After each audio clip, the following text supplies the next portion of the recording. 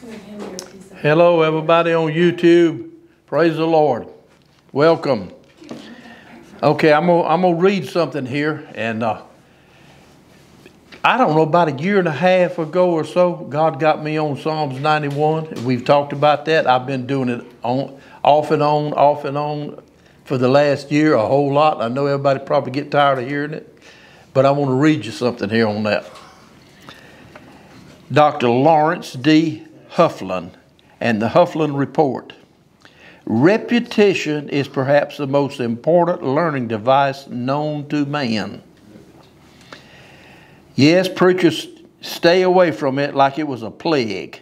They think they have to come up with something new every time they preach. Repetition is how we learn everything from our ABCs to the multiplication table, from the formula of water to, to numbers of planets in outer space. My late friend Grant Rice told me over and over again the fear of reputation is the curse of the ministry. Hmm. I thought that was pretty interesting. I am convinced that he was right on target. Recently, I heard a pitching coach say I have to tell my pitchers over and over and over again mm-hmm. To throw strikes, throw strikes, throw strikes, throw strikes. He has said you have to keep telling them and keep telling them and keep telling them before it registers with them. That was said with tongue in cheek, but it proves the necessity, the power of repetition. If God says something once in the Bible, that should be sufficient. But there, there are certain truths that God mentions over and over and over and over again. Why? Because we didn't get it the first time. I learned that in spades and with raising four sons back when I was in grade school. I got I got it in time. We knew why. Repetition aids learning. Repetition aids learning. learning. The reason I mention this is because if you're a pastor and are in charge of a congregation, your people don't get it the first time you talk about something. You have to keep hammering it at them again and again and again and again. At the beginning of every summer, when I was a pastor, I preached my message on sins of the summer. Why? My people needed to hear it again. I always thought it was interesting to note that R.G. Lee preached this message payday someday, scores of times at his Bellevue Baptist Church in Memphis, Tennessee. When he announced that he would be preaching that sermon, people would come from everywhere and pack the place out to hear the same thing. so that's I wanted I'm reading that because uh, I wanted y'all to see why I keep doing this about Psalms 91. You know, we we've been we've been kept in good health even as, as, as a, at the age we're at here on Sunday night, will be what we've been doing. It's amazing how a lot of older people is getting in really bad shape. Yeah. And even younger. But we, we, keep, I keep doing this over and over. So what we're going to do, we're going to go to Psalms 91. And you know, I told y'all when uh, I first started doing this, Lord laid on my heart to do it. Every time I do it, it seemed like every week or so I'd get, a, get something else that I didn't get before. That's what going to this back to the Word and staying with the Word will do. Amen. So when you read the first verse of Psalms 91, it says, He that dwells. Well, what does that word dwell mean? Lives. lives. So when you read it, you need to say that. He that lives in the secret place. Well, we need to know what the secret place is. What is the secret place us and him and him. Jesus. And I kept looking in the Bible and trying to find out what the secret place was. And finally, it was like the Holy Ghost said one day, look at Galatians, what it say in Galatians. The mystery, which is the secret, is Christ in us. And when I, I thought, oh. And so when I read it, I said, Emmett that lives in Christ and Christ lives in Emmett of the Most High shall live under the defense of the Almighty. Because that word shadow there means defense. And that's something the Lord showed me a long time ago. He said, God don't have a shadow to be bigger than him. There ain't nothing bigger than God. So that word shadow means defense. Well, if you stop and think about it, that's what he's talking about in this whole psalm. We're living under his defense. Hallelujah. So when I read that verse, that's the way I read it. And what am I doing? I'm, well, I'm getting some revelation or, or different way to see it for me. That's making it me it's the word stronger in me when I read it and say it like that. Now you may see a little bit different from you. We all got different personalities, and sometimes words can be is, is interchangeable. Like the word heart, it can be talking about your heart, or it can be talking about your spirit. It's interchangeable to what what's going on and where it's, what it's talking about at the time. So see, you there's so much of the word, so many words in the Word of God can be interchangeable to bring out a revelation to you. If you look over in the fourth chapter of Mark, about that uh, 12th, 14th verse, somewhere along in there, God said that the, the Word of God was wrote where unbelievers couldn't understand it. You got to be a believer to understand it. So what happens is when you start studying the Word, God starts giving you revelation on stuff that you will see a little different. You haven't seen it before. So in that second verse it says, I will say of the Lord. I will say of the Lord. And I sit there one day just think about that. I will say of the Lord. It's like the Holy Ghost said, you got to say it and hear yourself saying it. Mm-hmm. Listen to yourself say it. So I started saying, John, we got somebody at the door there. Ask him to come on in. Come on down. Come on in. Come on down. Hey. So you need to say it.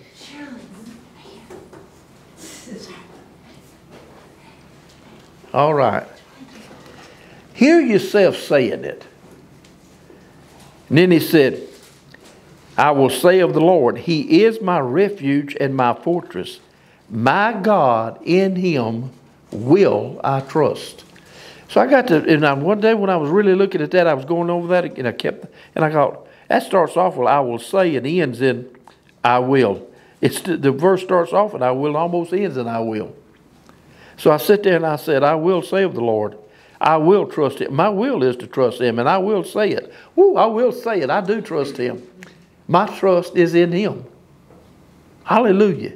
I will say it, and I will trust Him. I'll trust Him even though He would slay me, because He'd be doing it for my good. Can you really say that and believe it in your spirit? That He would slay me, even though He would slay me, it would be for my good? Can you really say it and believe that in your spirit? We should. Because if he was to slay us, it would be for our good. He doesn't even want our toe to be stuck on a rock. He doesn't really want us to suffer. Nope. So I say if we're gonna be slayed, slay.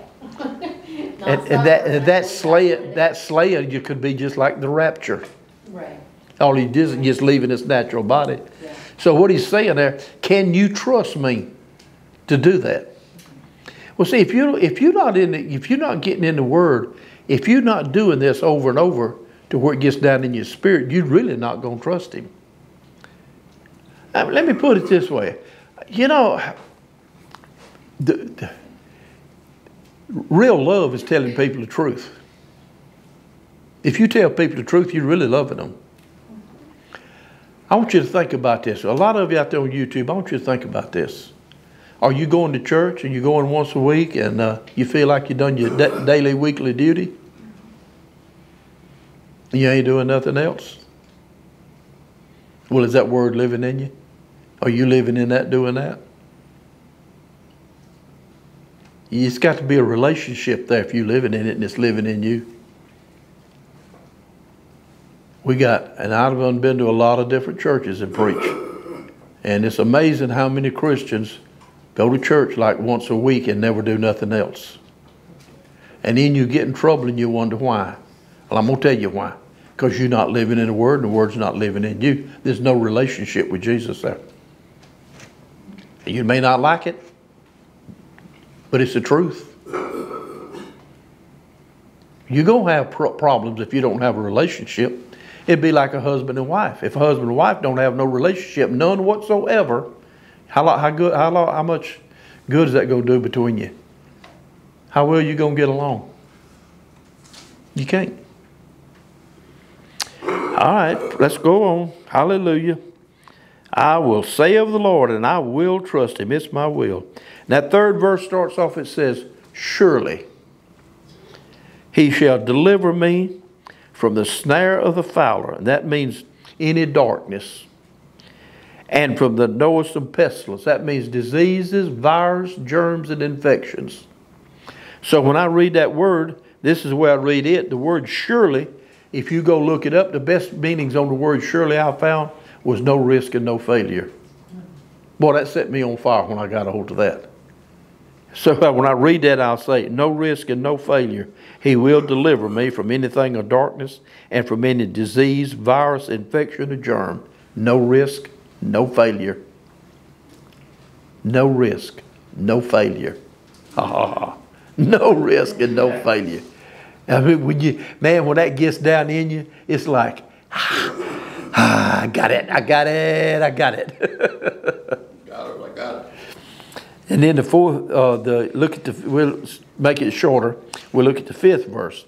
It says, "Thou shalt not be afraid." Yeah. So what he's saying there is, you cannot get in fear. If you get in fear, it's not going to work. You can't trust God to be in fear too. Fear is the opposite of faith. To trust Him, you have to do it by faith. Hallelujah. So, and you, fear is a spirit. We've taught on that and taught on that. Who's got authority over spirits? We have. God's give us authority. Luke 10, 19 and 20 says we have authority over all spirits. It didn't say some, it didn't say one. It said we have authority over all spirits. Mankind has. So if you have authority, what does authority do? Dominance. It rules. So in other words, you rule over all spirits. It's you know if you if you want to look at something in the natural, just think about if you had a business, you had like twelve employees working for you, and you never told them what to do. You never used your authority to tell them what to do. What would they do? What would happen to your business? Wouldn't last long, would it? Same thing in the spirit realm. You got spirits that's trying to bring stuff against us all the time. You have to use your authority against them. And what we've done mostly in the church is we pray for God to do something about them. And God's sitting up there waiting us on us to do something about them because He give us the authority to do it.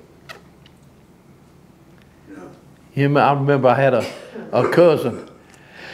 He he went to a Baptist church and he he- he heard uh, he heard preaching every Sunday on being born again. That was it, eternal life.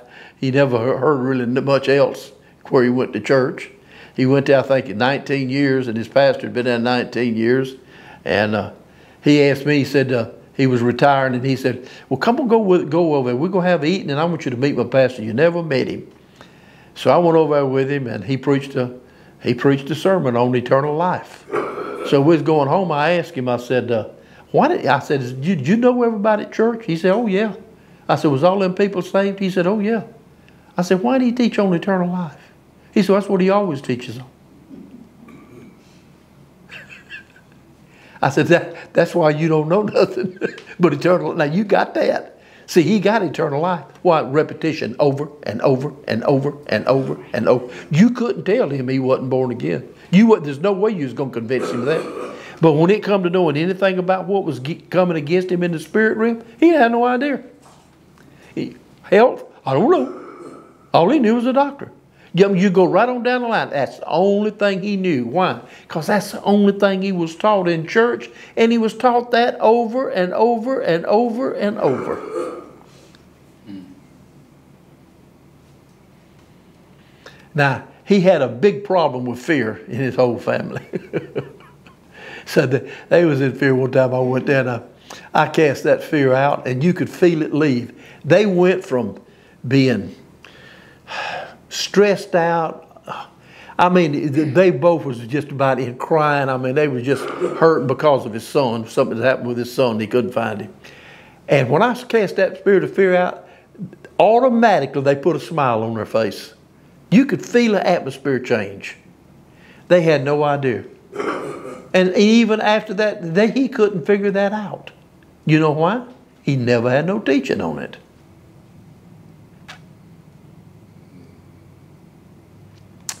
Praise the Lord. So you have authority over fear. Don't get in fear. Use your authority.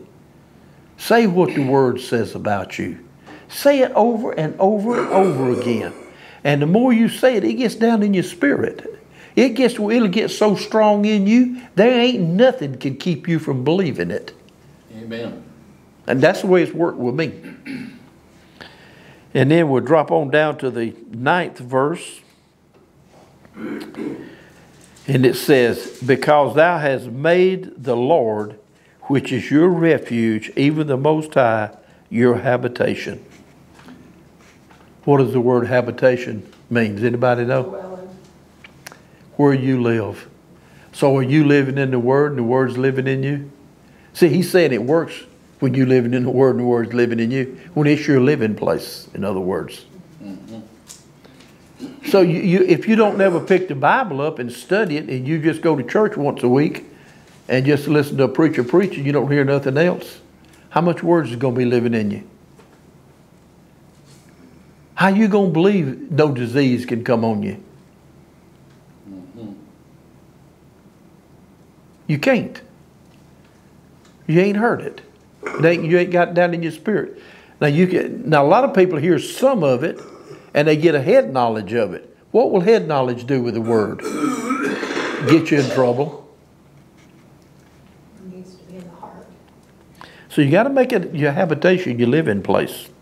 Then he said, tenth verse said, "There shall no evil befall you, neither shall any plague come near your dwelling."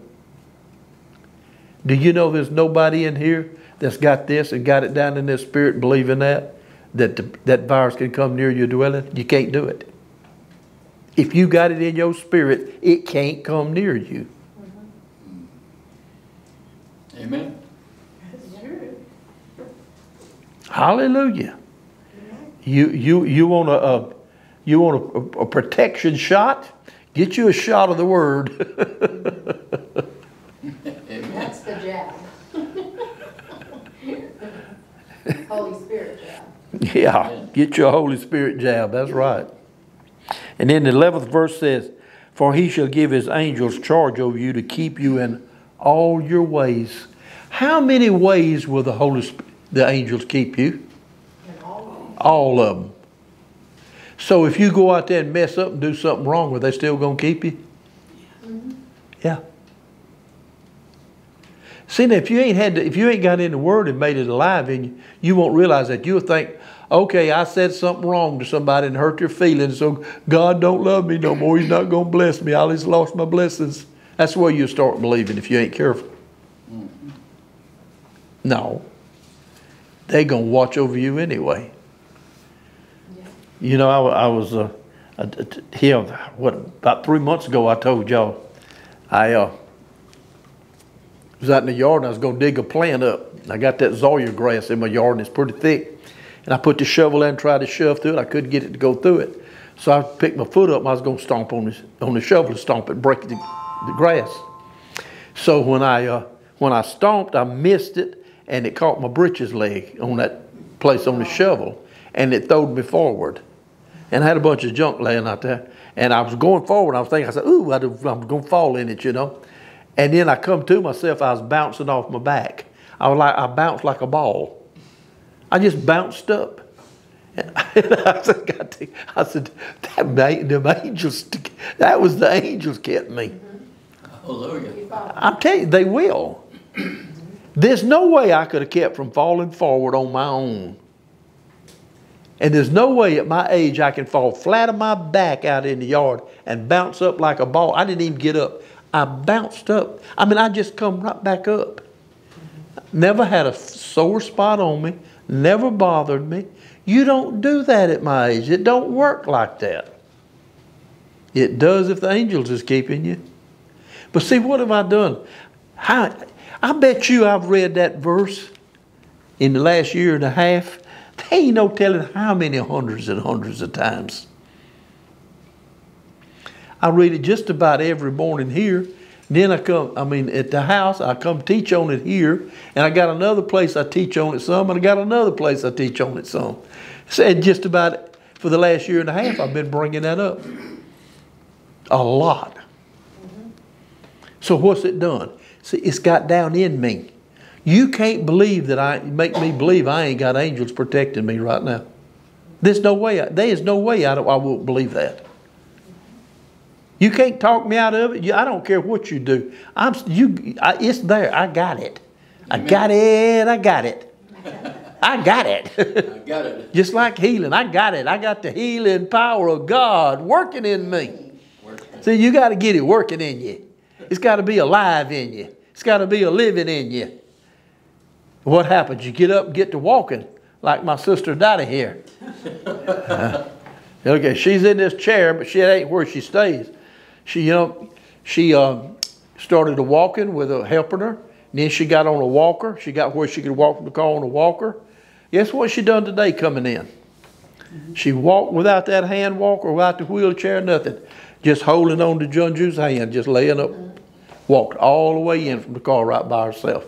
Doctor said she'd never walk again. Why is she walking? What, what's the biggest thing she's done? Believe in faith. I told her to start saying, burden removing, yoke destroying, power of God, the anointing is working in me. She started to saying that, and ain't no, how many times have you said that, Donnie? A million times? I don't know. Maybe more than a million times. More than a million. Why? It has got down in her, she believes it. You know, Lilian B. Yeoman, I don't know whether y'all ever heard of her, but she was uh, back in the turn of the century. She was a, a leading surgeon in a hospital in New York, and she got on drugs real bad, and uh, she was about to die. And uh, so she, she, she left the hospital, and she went and picked her Bible up. She got born again when she was a kid. Her mother, and daddy was a Christians. So she went and picked her Bible up and started studying it and got healed. God healed her. And her and her sister wound up with a two-story house, and she opened it up and called it a healing home. Anybody had a disease, come there. And uh, they brought a lady that had uh, tuberculosis. And uh, Sister Yeoman carried her upstairs, put her in a room, she sat down, read her Deuteronomy 28, where it says tuberculosis is a consumption, and it's a curse of the law. So then she carried over and read her in Galatians where it said, Jesus has redeemed us from the curse of the law. And she said, You see how you've been redeemed from it. You don't have it. You don't have it no more. And she said, I want you to sit here and say what Deuteronomy says about ber- tuberculosis is a curse of the law. It's been given under the law. Jesus has redeemed me from the curse of the law, so I no more have tuberculosis. And she said, I want you to sit up here. And that was that evening and all night and say it. So she said she went up before she went to bed and walked in there and I said, Well, how many times have you said it? She said, Oh, about 10,000. And said, Sister Yeoman told her, Well, keep saying it. So the next morning, her and her sister sat down eating breakfast and said the lady come running out top of the stairs up there and said, Sisters Yeomans, did y'all know that Jesus has redeemed me from the curse of the law and I don't have no more tuberculosis? Says she's completely healed. Hallelujah. What'd she do? Repetition over and over and over and over. Okay, if you sit there, she started saying it that evening, she said it all night, and to the next morning, uh, say 12 hours, she said it, let's just say. When you go to a doctor and you sit in his office and then you go back in another room and you wait, and then you go to a drugstore and spend money for drugs that's going to give you side effects, and you do that two times, reckon you spent more than 12 hours? Mm-hmm.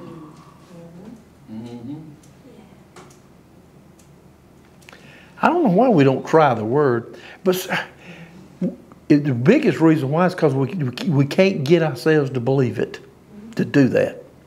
Mm-hmm. It, it takes a lot of patience and a lot of effort to sit there that long. To her to, don't tell it how many times she said it. It took patience and it took a while. She had to wait on it. I know when she first started doing it, we was up to Y. I was going up there and they was too. And she'd get on that little machine and she'd sit there for an hour. She just could move on it. And she'd be, he had it wrote down on a piece of paper and she'd be sitting there saying it. Just barely could move. She couldn't hardly make that thing move. And then I noticed after about three or four months of doing that, she was doing this with her feet. And, and she could do it with just the right hand. Yeah, and then she got to moving her hand. Over and over and over, repetition, repetition, repetition. And if, so the angels will keep you. It don't matter if you mess up; they're gonna keep you anyway. If God sent them to keep you, they're gonna keep you. It ain't about whether you mess up or not. It's about whether you can believe it.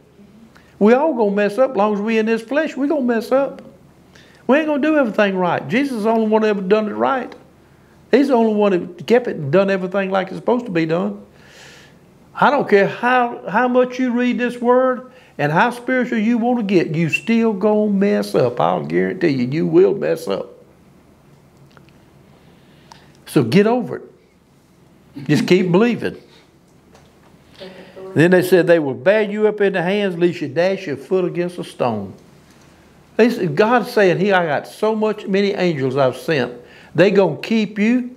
They'll keep a plague from coming to your dwelling, and you won't even let. They won't even let you hurt your feet no more. So what I started saying on that, I said, I said, I got so many, and I done. I, when I'm by myself, I do things. I, I act on it. I said, I got so many angels around me, I can't even stump my toe no more. Hallelujah. and I just get happy. Can't stump my toe. Boy, that's good news. Amen. See, make it good news to you. Sometimes you need to put some action in it. Just do something. What did David do when he was bringing the ark back? He got so excited, he danced before the Lord. Yeah. Mm-hmm. You need to get excited about the word. I remember Brother Hagin, he used to say, if you want the word to work for you, you need to get excited about it. Sing it, shout it. Yeah, if you can, but if you don't, if you don't start doing it, you can't get excited. You can't get excited about nothing you're not participating in. The people go to a football game. They may not be out there on the field playing football, but they get, they start participating in it. And what do they Oh, do? yeah. Oh, they get excited. Oh, well, they get excited. Come to church and do that. You know, you can't do that in church. A lot of churches, you couldn't do that. That'd be wrong. I'm going to tell you what, God likes it when you get excited about the word. Amen. Amen. Hallelujah. Then he said, Thou shalt tread upon the lion and adder, the young lion and, and the dragon shall thou trample under feet. So he's talking about darkness. So any kind of darkness that comes against you, what you supposed to do to it? Trample it under your feet. What's the easiest and best way to trample it under your feet? Take authority. Your authority. Use your authority. And what we've done in the church so much and what we've been taught, and, I, and I've been there, I'm not talking against them. It's just all they knew is the best thing most pastors know. Pray about it. Pray about it. And then when we pray about it, most of the time we're praying for God to do something about it. And God's sitting there saying, I didn't give you authority to do something about it. Why don't you do something? He's already paid for it. He's already paid for it. It already belongs to us. Pray the word back to him that you are a healer. Yeah. The word says you are a healer. Yep. And that's the prayer. You are a healer. Yeah, yeah. Thank you, Father, for complete healing. Yeah, it's already a done deal. See, and uh, most a lot of Christians I've talked to, they don't understand that. But you was healed two thousand years ago. You were saved two thousand years ago. I've had people say, "No, I got saved in 1980." I said, "No, you got saved two thousand years ago." I know when I got saved. You don't. I said, "You just accepted it in '80." We all got saved two thousand years ago. You just happened to accept it. Same thing with healing. Jesus healed you 2,000 years ago. If you're sick, when you going to accept it? when you get your mind renewed to the Word, really.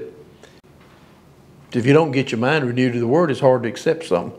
It, listen, I understand. I've been there. It's hard to believe something when your flesh is yelling one way and you try to try to believe it another way. Uh, it's not easy. I've been there. And thank God He's given doctors the knowledge and the ability to help us in some areas because sometimes we need it. Amen.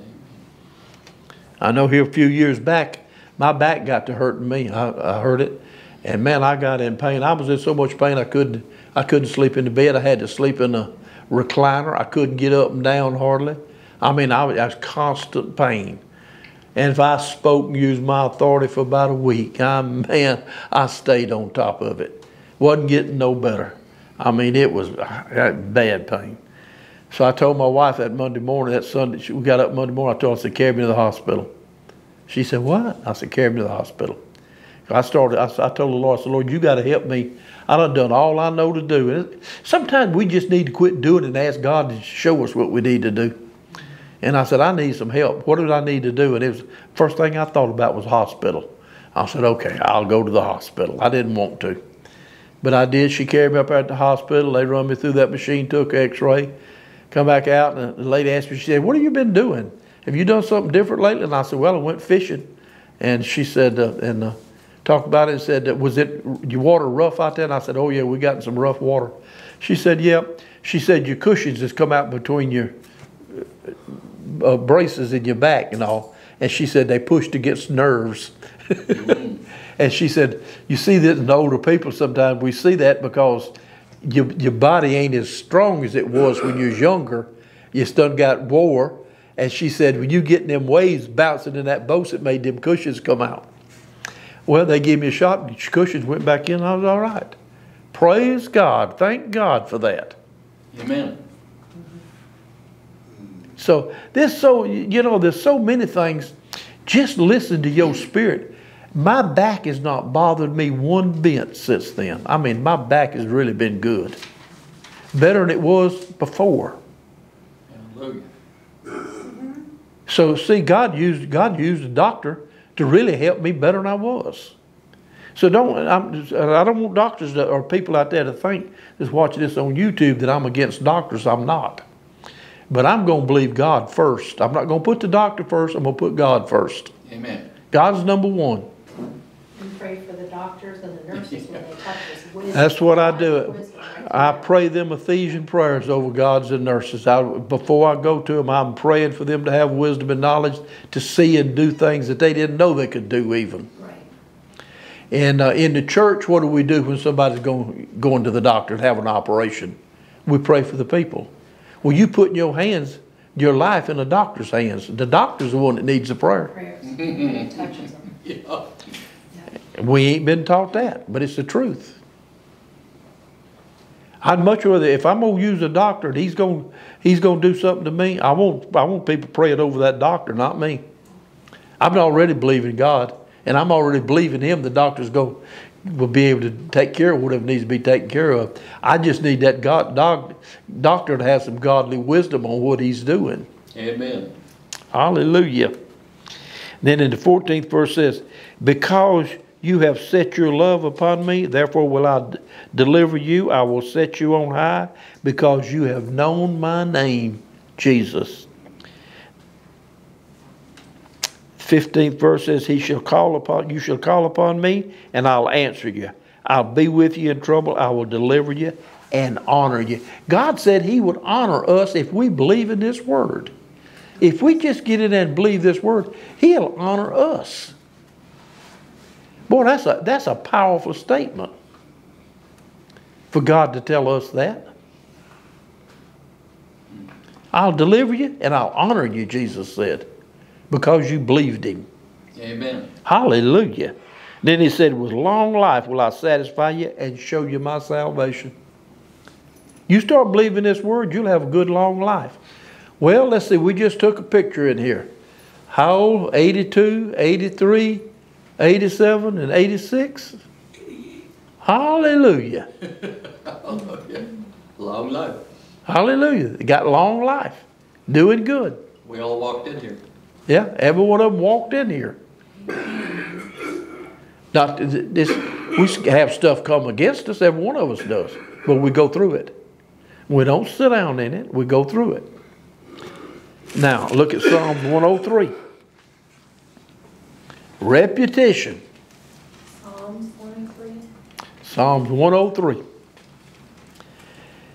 It says, Bless the Lord, O my soul. Now, that word soul, when I see that word soul, I put the word thoughts there. Because your soul is your mind, will, and emotions, which we'll be talking about later. And what's in your, what's in your mind? What you're thinking, your thoughts. What's your will?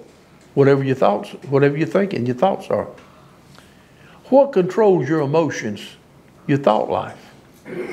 You ever seen people get real emotional, go to crying and have what I call a hissy fit? It's all because of their thoughts. so when you see the word soul, I put the word thoughts there because that's what that's the biggest thing it's talking about is your thoughts. So he's saying, "Bless the Lord, oh my thoughts." See, bless my thoughts, and all that is within me. Bless His holy name. Glory to God. He said, Bless his holy name with all that there is within you. Amen. And I have read that I don't know how many times and never stopped and done it till here a while back. And I stopped and I said, Lord, I bless your holy name with everything that there is within me. And I started saying it and I said it over and over and over and over. And the more I said it, the stronger it seemed like it got in me. Oh, glory to God. Everything in me was blessing the Lord. Well, that's what he asked me to do. Most of the time, we just do like I did for years, just read over it. Just read it and keep on going. But it made a difference when I stopped here a while back and started doing that. Then the second verse says, Bless the Lord, O my soul, thought. Bless the Lord, O my thoughts, and forget not all his benefits. And you know, I have read that for years and I never stopped and really just sit sit there and started thanking him for his benefits. What is, you know, start thinking about some of the benefits God's given us. What's the number one benefit? Eternal life. Amen. What's another benefit? He got us a mansion built in heaven to live in forever. It ain't one of these old houses that's going to fall apart that we got down here. He's got a mansion for us to live in Amen. forever. Is that a benefit? Glory to God. What about air? Is air a benefit? What if God cut air off for a couple of minutes? I bet you everybody be thanking him for that benefit when it come back on.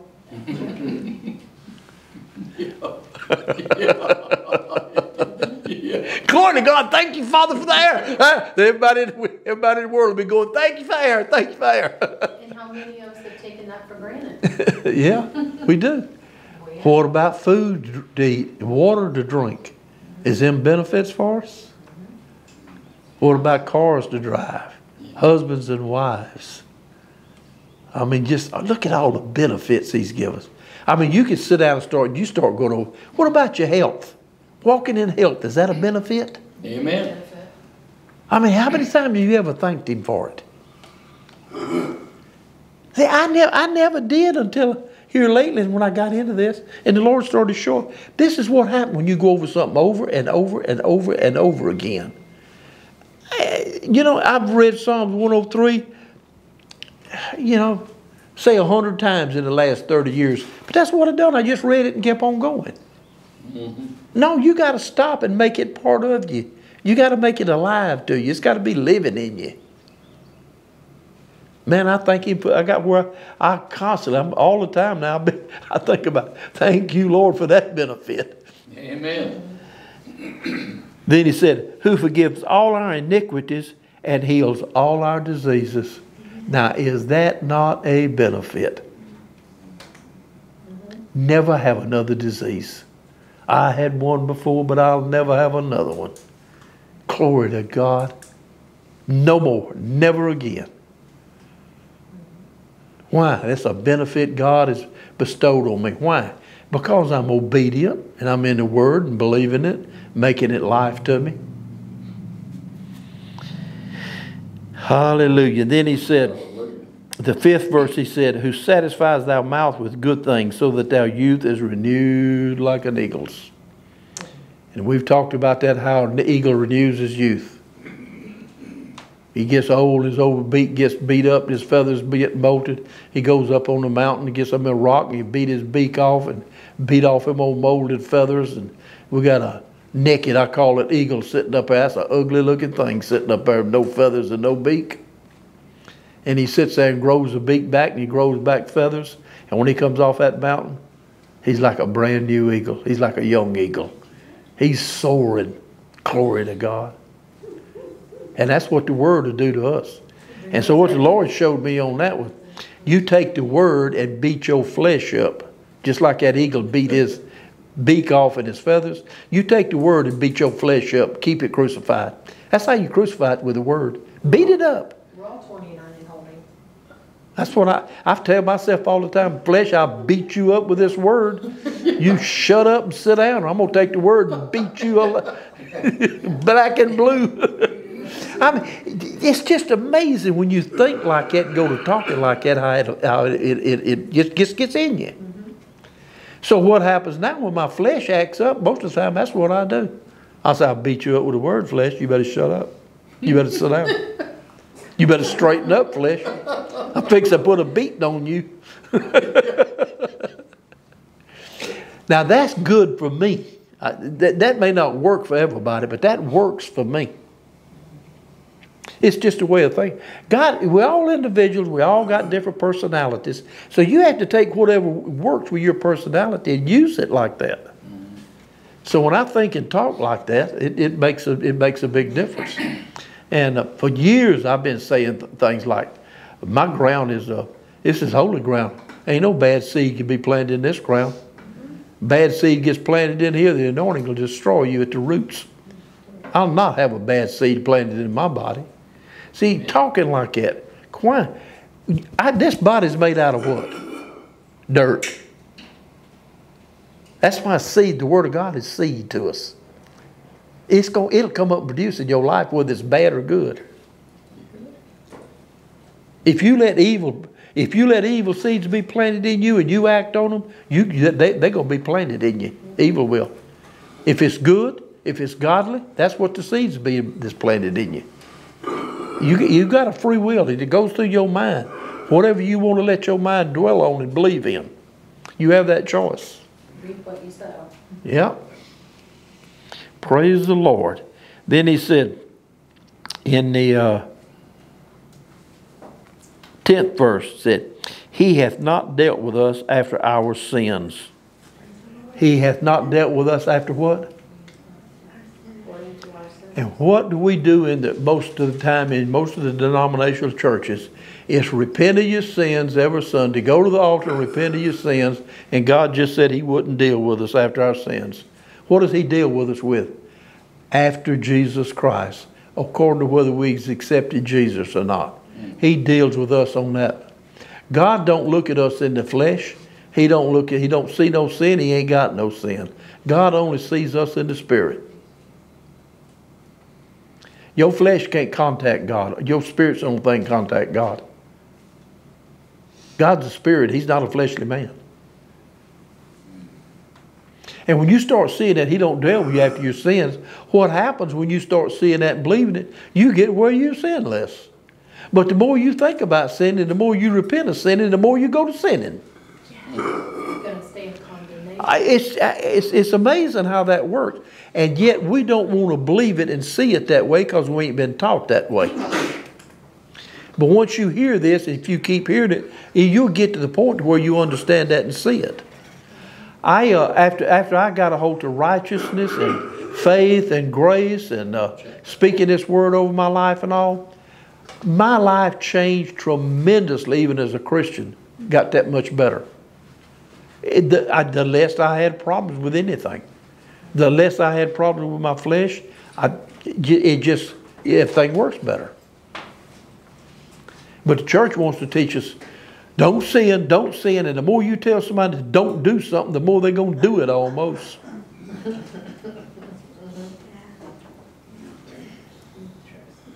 And then you have them repent of it. That makes it a little bit worse. Then they get in condemnation, fear, feeling unworthy, and that, they get even worse then. now get out of it. What Jesus say? He's, he, there is no more condemnation to them that are where? In Christ Jesus. If you in Jesus, there ain't, it's gone, it's over with. Look at it that way. Start seeing it that way. And nor reward us according to our iniquities. In other words, He's not going to reward you whether what you do good or bad. Whether He moves on your behalf right now, whether it's good or bad. God's going to move on your behalf anyway because you've accepted Jesus. God's going to reward you according to Jesus.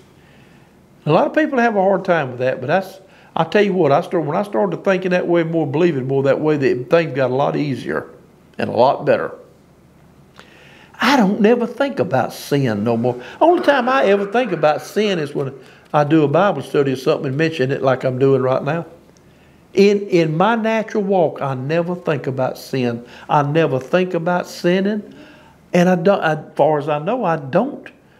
To, you know, to amount to anything, I might, every once in a while, I might not like something somebody does or something, but that don't mean you sinned. If you don't let it go down, if you don't let your wrath go down on, on you, it ain't considered sin. I get mad about things every once in a while. I can get mad about some of this politician stuff, but I don't let the sun go down on me. I don't hold it, so it ain't sin to me. I can get so mad sometimes I would think, I, would shoot him. I'd shoot him. I've thought that. I can't hit, you know. And then I said, I don't mean that. Bless them. I'll just turn it around.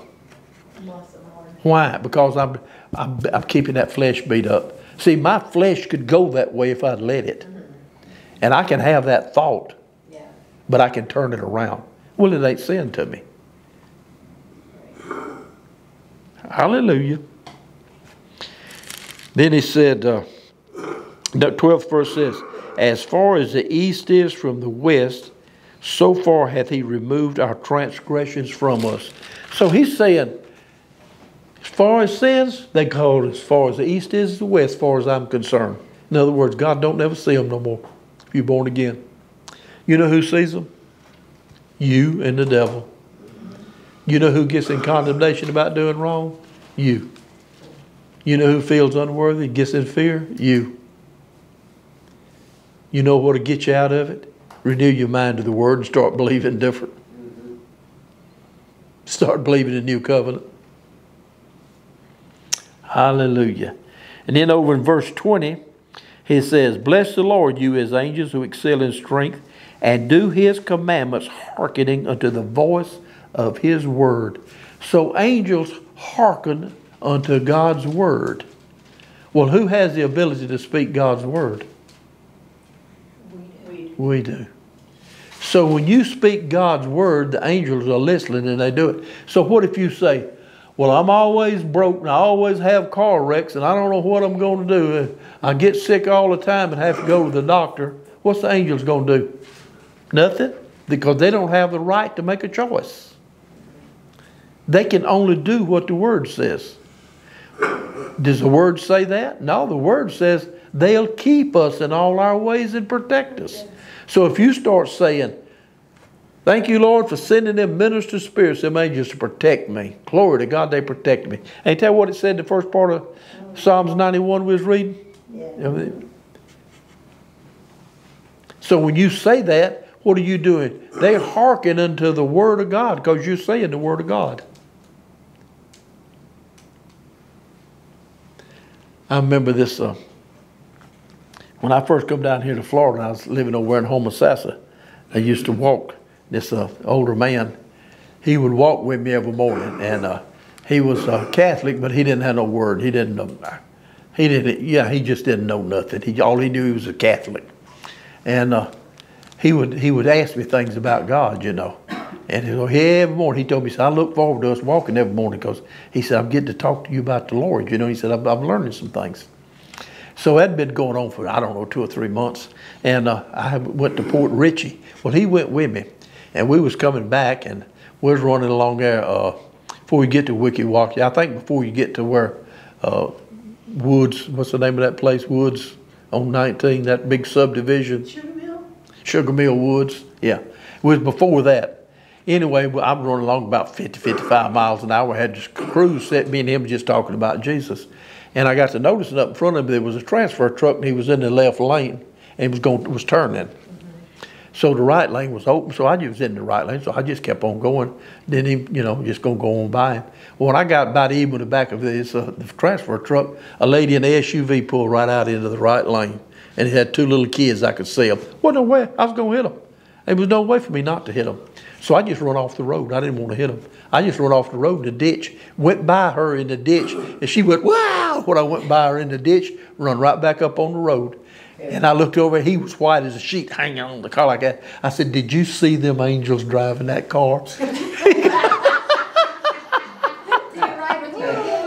you can't do that. I'm telling you in the natural, you can't do that. I said, You didn't even feel a bump, did you? And he said, It was a miracle. yeah. What's protecting me? The angels. I mean, I went off in the ditch, went right by her. She just, I'm just a smiling. you can't go off in the ditch going that fast and then come back up on the road out of the ditch like that. It don't work like that. Something's going on, like he knew. It was, it's a miracle. It's a miracle. And he talked about that and talked about that. And I tell him, I said, you send your angels out to keep watch over you. I do it every day for every morning before me and John Jew get in the car and drive it. I say it every morning, angels. Watch over us, guide us, protect us, get us to our destinations in the vehicles back and forth and everything we endeavor to do today. I say that every morning. Now, does that mean you won't have a wreck or nothing? No. Jew had a wreck right after I bought her a car. But now she's trying to learn how to drive. And she thinks she knows how to drive. So I was kind of letting her learn, you know. You got to let them learn after they get the license and all. She don't want to hear it. She, so, so I would tell her, I told her, she, she had a flat tire and she just drove on the flat tire. She didn't know what was wrong with the car. Burnt the tire, you know. So I told her after that, I said, every time you leave the house, wherever you going, when you get there, you call me so I know you got there okay. So that's what we started doing. Well, this morning, she left this house this morning, and it was just two or three minutes went by. Telephone rang, it was her. She said, Husband, she said, the car won't run, it quit. I said, do it? No, no, this is that was the second time. First time, she called me after she got to work. And she said, uh, me need to tell you something. I said, what is it? Stop. And she said, uh, me, me hurt the car. I said, you hurt the car? She said, yeah. And she said, I said, you drove, I said, you drove it on to work? She said, yeah. I said, okay.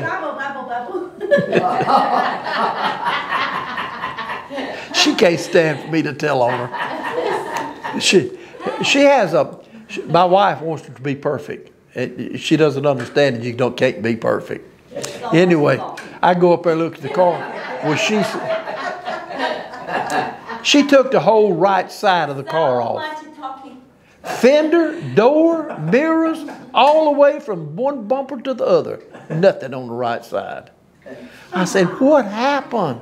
She said, uh, In our subdivision, she's her purse fell off the seat, so she bent over, get her purse. She said, When I look her up, uh, nothing but a tree in front of me.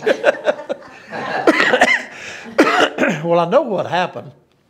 She said, she said she hit the tree and she said, I don't know how come it didn't hit the middle of the car, it just hit on the side. Because she said, I was just looking at it, it was right there.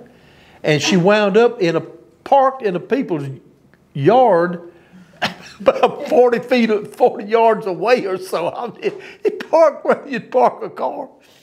And what happened when she saw it, it scared her she stomped the gas. I know what happened instead of hitting the brake. Yeah. because she's not used to using her feet This is what, and, and, and the words, it, it works a lot in the same way in the natural. She's not used to using her feet because in China, she drove a motorcycle and used her hands. All the stopping and going was with your hands. Well, now she's trying to drive a car using her feet, and she ain't used to it. So when that happened, it scared her, and she stomped the gas. So you know, now she's learned about it. She don't want to do that no more. Uh, No insurance. You know how it got fixed? She paid for it. She ain't wrecked no more. But that was our money, right? That's that's called that's called tough love on your wife, isn't it? But she paid for it and had it fixed. Maybe But she's more careful now. She pays more attention now. She's real careful. You'll be careful. Oh, Hallelujah. she doesn't like for me to tell off. Uh, I, I've tried to tell her I can't tell off on other people. I can only tell on us.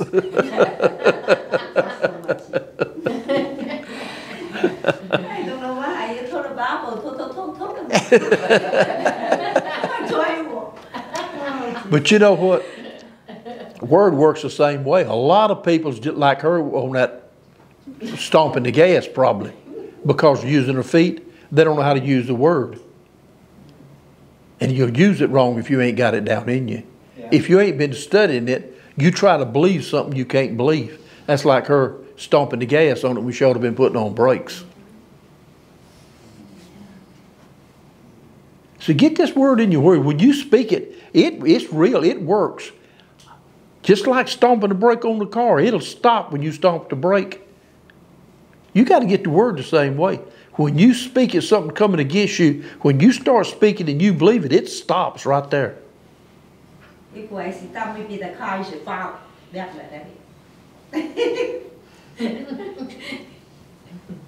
Hallelujah. If I stop, maybe the fall down come. This time. Look at Habakkuk, the second uh, no, let's go to Proverbs first. Proverbs 29.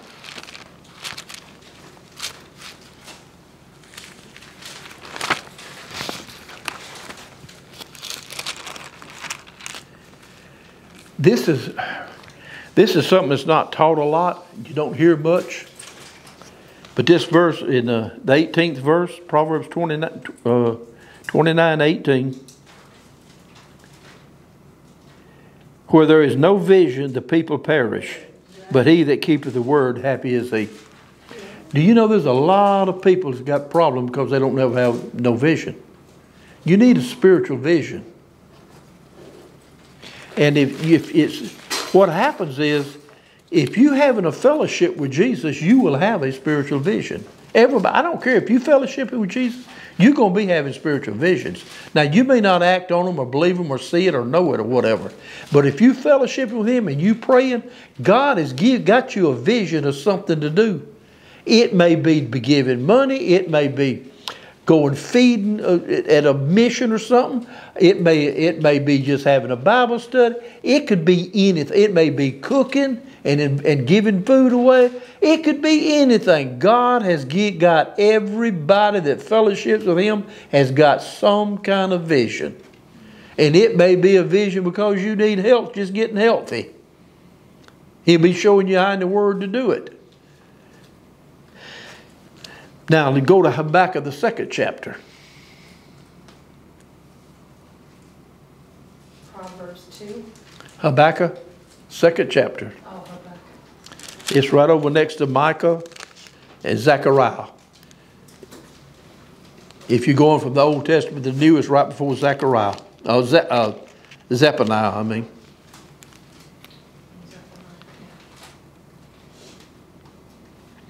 In my Bible, it's page 1348. Is that gonna help?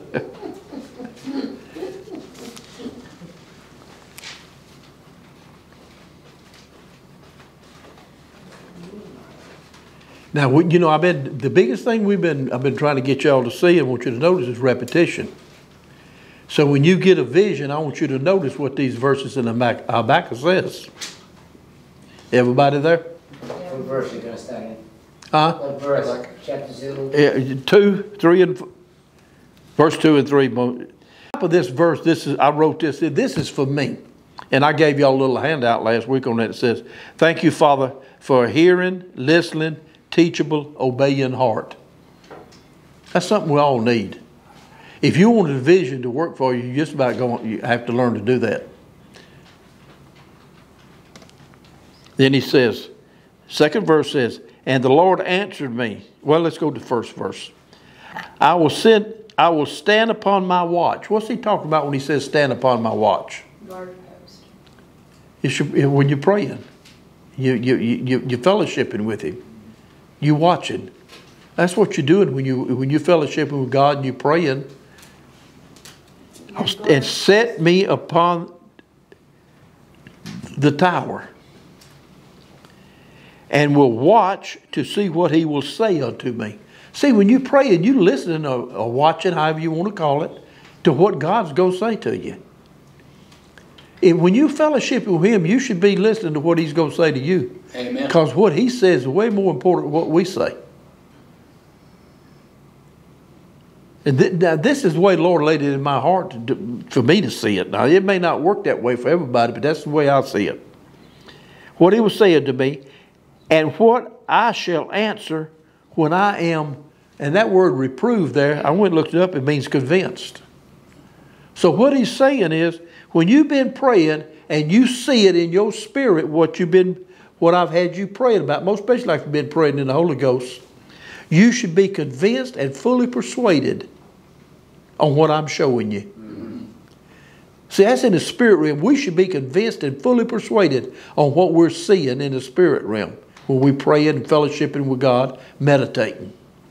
And then he said, When you do, and the Lord answered me and said, when I was fully persuaded and convinced, write the vision and make it plain upon tablets that he may run that readeth it. So what he's saying is you need to write that vision down and read it is running with it and you read it all the time. So when I first time I seen this is uh, way back yonder. And so I had a vision God had given me and he gave me a vision of me retiring from work early, retiring with full retirement and an extra bonus of money.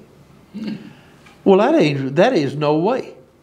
I was working in the paper industry. They never had no early retirement. It's impossible. That can't happen.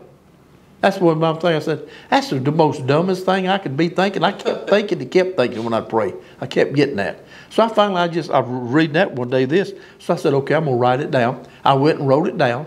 That's what I wrote down. I'd get up every morning and I'd read it. Just what he said there, I'd read. And I would retire early. I'd, I'd retire with a full, full pay retirement with a bonus of money. So I get up and read it every morning. Seven years went by. Well, six years went by or something like that. And the company I worked for had an early retirement, and I didn't get it. But if, if I'd have got it, it- I wouldn't have got full retirement. Uh-huh. So a year later, another company bought the company out I worked for, and then they had an early retirement, and their early retirement, as much as the company I worked for, is full retirement. And the Lord has had me put money in a 401k. I didn't know nothing about it. I just, I started putting, I felt in my spirit put 20% in there. I started putting 20% and I think they was putting 5%. And uh, one summer the year before I retired, they had, uh, wherever I had put it, I don't forget where it was at. Anyway, that summer it was in uh, uh, different countries, something about different countries financing in them. I got to make it up to fifty percent on my money on some of the other countries. Yeah. And I retired with a bonus of money. Hallelujah. Just what I got seven years before. Now it took seven years. See, the word's true. When you get a vision, but you need to write it down and, and run with it like it's reading right there. And then if you look at the look at the uh, third verse, it says, "For the vision is yet for an appointed time." See, the appointed time was that was seven years off.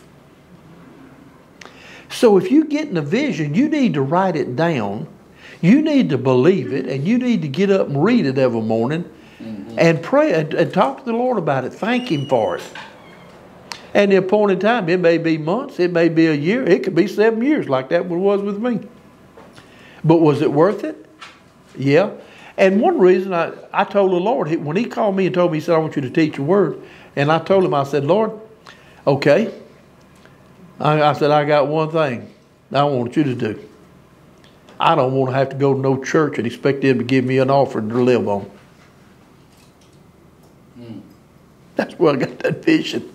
It was after that I got that vision. I've never had to depend on the church giving me an offering to live. Praise the Lord. Huh, yeah. Hallelujah. Is it worth? Was it worth it? I just done what the word said. The word's true. I went to churches. I spent more money to get there than what I got for an offering, and that was okay. Yeah, Why? Because God's taking care of me. yeah, well, yeah, yeah, God provides. Yeah. I had a motorhome one time. I went to a church in it, spent about three or four hundred dollars in gas going there and get coming back, and got there and stayed two weeks. And they gave me a hundred fifty dollar offering. that was okay. Praise the Lord. People got healed. People got set free. There was a little. They they brought a prayer cloth to me. Uh, well, they they come and and uh, told me they had a, a, a, a lady had her sister was in the hospital and her baby was uh, they was wanting to abort the baby. Said the baby's head was about the size of a marble. It had an irregular heartbeat and it was known it would be a vegetable when it was born. And they was wanting her to abort it. And uh, so I give her a, a took a handkerchief out of my pocket, laid hands on it. The anointing had been being in it all week. I said, "You go and lay that on that lady's belly, and that baby will be born perfect." Nice. Three months, three or four months later, it was like it was like seven months pregnant or something. Three or four, five months later, whenever it was, might have been a little bit longer than that. The uh, pastor of the church sent me a letter. It said the baby was born eight pounds in perfect health. Nice. Hallelujah. Just, just do, just believe in the anointing. Look what the anointing's been doing in her life. Amen. Yeah. See, you got to start believing in it. Can I say something about that? When I first came here a year and a half ago, this woman in, in a year and a half, when I first came here, the best word I can put for her is glum. She, you know, she had a, a sense of joy, but glum. The countenance, when I came back here, you know, the countenance, Yep. she glows Yep. with joy. Mm-hmm. Yes. You know, I mean, I, that, I mean, Just- it was, it wasn't shocking to me, but it, it took me aback, you know what I'm saying? It wasn't, it just, You- I mean, I, I'm choking up right now, because it's, it's like, like, hundred and eighty degree turn, I mean, sh- she was dealing with what she had. Two, two years ago or so, she couldn't even, she couldn't even get out of that Yeah, I- wheelchair. Well, I was here the first night she got up, and, and, uh, when Billy Yeah. Norton was here, Yeah. Matt Dixon. And Matt Billy Dixon was raising the Holy Spirit here. You just wait, it ain't gonna be long. It ain't gonna be long. One day when you hear, one night when you hear, you're gonna be, me and her's gonna be dancing. Playing basketball. You know, this is also teaching me, because I have a tendency, uh, like wallowing in my situation, and I'm not looking past the situation, I'm not allowing God to work through that situation. So, so that, that's, like, this is testimony to me when I watch. Yeah. And I see this joy.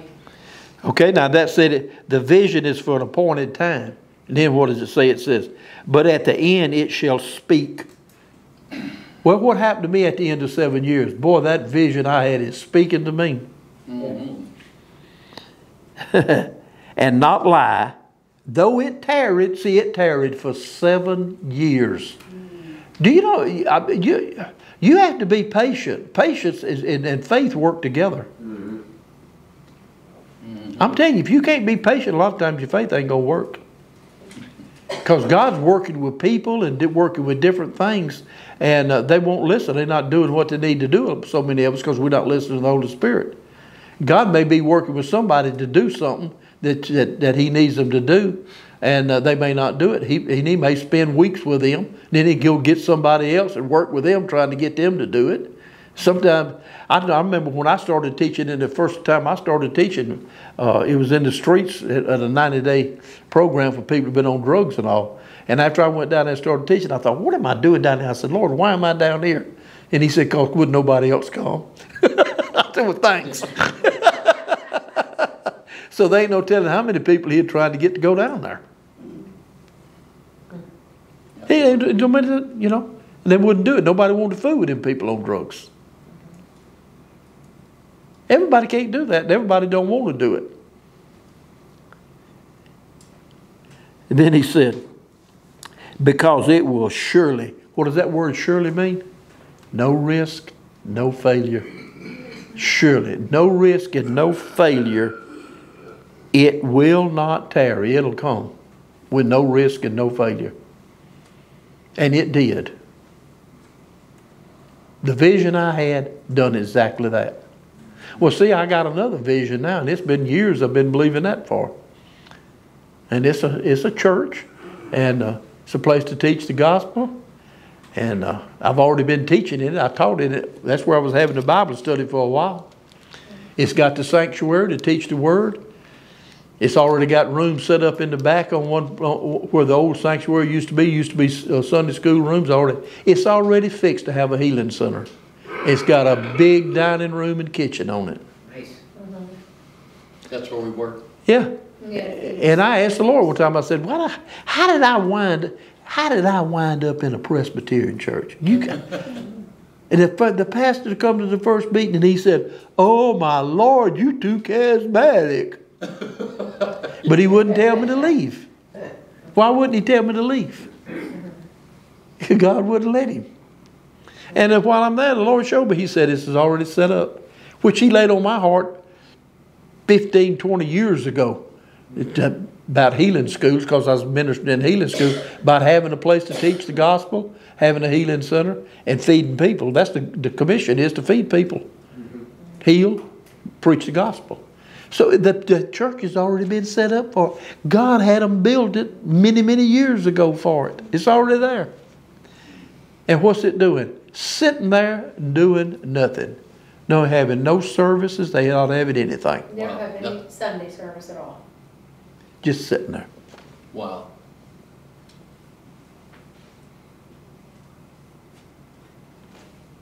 So what am I doing? Same thing I did on this vision. And that's a vision. I said, what he gave me kept stirred it in my heart about that. So I'm just doing the same thing I done and seen the vision come about seven years later. I'm doing the same thing with that. It's an appointed time. Those who wait on the Lord will renew their strength. They will soar on wings like eagle and walk and not grow weary, and they will uh, run and not grow not faint. That's exactly what will happen. So you just, you know, you just have to get you a vision and stick with it when you get it. Yep. And that's what I'm doing. And I ain't no pastor, so I don't know how God's gonna do that and what he's doing, because I ain't no pastor now, I can tell you that. He'll give you the words. He'll give you the words. You're doing all right. Ed. He'll give me, he'll give me somebody to be a pastor. Jesus said I, you- you- I go do the feeding and the, and the healing center, they, do- they, they have that pastor. I can't, I ain't, I ain't cut out. an open- I'm an open. You know, I think to Ezra, when you're talking about that, because he, he stuck to what God said to do, even in spite that, um, like there were Jewish people that were intermarried and things like that, and, and things were kind of looking gloomy, but then all of a sudden, he wakes up and he says, wait a minute, there's a remnant. God, Yep. he, he has us on a purpose, and he kept with it. Yeah. How much in this time we're coming into do we need a place like that? Places all over country like that, Yeah. Where people can come and hear the word, the gospel taught to them, a place if they're sick they can go and have the word taught to them about healing, where they can r- learn to receive their healing, and can get a free meal every day. That's right. I mean, we need them places all over the United States right now. Because I'll tell you, it's fixing to get bad. Mm-hmm. I, I'm not trying to be loom and gloom, but the way our country's going, I think we've done tilt, went over the tilt. Well, you know, gas is up to, oh, y'all, y'all need to hear this on the YouTube. Gas is up to what, $3.15? $3. Groceries has gone up. I bought some coffee today. It's $3 higher than it was a month ago. Things is going up, up, up, up, up, up, up, up just getting worse and worse. What's going to happen to all these people that ain't got money or has been living off the government? When it gets where they can't get nothing to food, they can't take care of themselves, what's going to happen? They're going to go to stealing and robbing. This whole country, it can turn around within the next year. We could turn around. There ain't no telling how bad we could, uh, much trouble we could have in the United States. Why? Because the devil's doing all this. Yeah. Because we got devilish people in government. Yep. We ain't got no Christians, no godly people. And if people can't feed their families, how many people here in America went hungry? So praise the Lord. So you better get you. You need to get yourself where you can believe God. That's that's what's going to take care of us. Believe in this word, what the Lord says. And the wisdom he's giving them. Give it, get in His Word, and make it life to you. Yeah. Hallelujah. Everybody blessed. Amen. Praise the Lord. Everybody.